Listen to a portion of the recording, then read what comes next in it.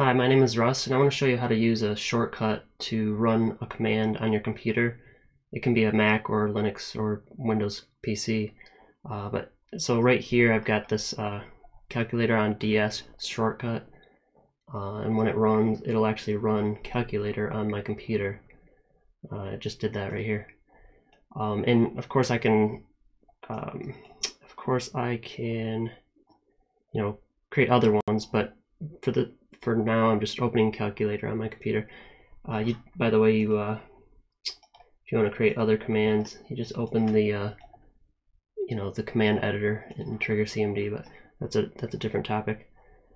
Um, so if you can also, of course, you know, uh, associate a, a Siri command to it. So I'm going to just you know re-record this to show you how.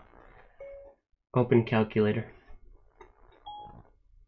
yeah, that's it's that easy to just pick something you want to say to Siri.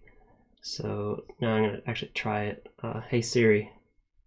Yeah, I don't have that set up. Sorry. Open calculator.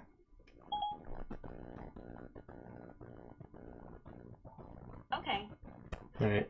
There's another calculator. Uh, so I think you get the idea. Um, if you go to this forum post here, it'll give you this QR code to set up the routine. It'll prompt you for your computer name, uh, which is, in my case, DS. It'll prompt you for, uh, let's see, the command you want to run, which in my case, I just ran uh, calc. I just ran calculator.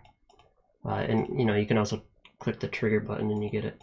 But that's without using the, the shortcut and that's that's about it. I think uh, if you've got any questions posted on the forum or um, yeah actually that's the best way to do it.